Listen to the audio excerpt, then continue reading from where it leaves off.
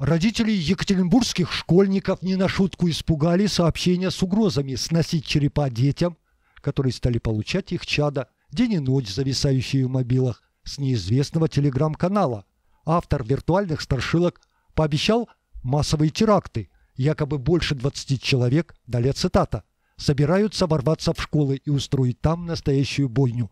«Я залью ЕКБ кровью», цитируют СМИ, одно из пугающих сообщений телеграм-канала, который, по утверждению чекистов, фейковый.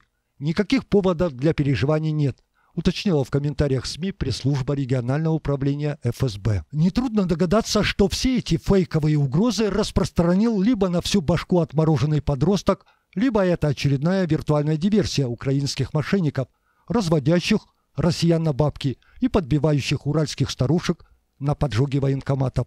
Угрозы, вероятно, рассылались из какого-нибудь тайного колл-центра виртуальных аферистов.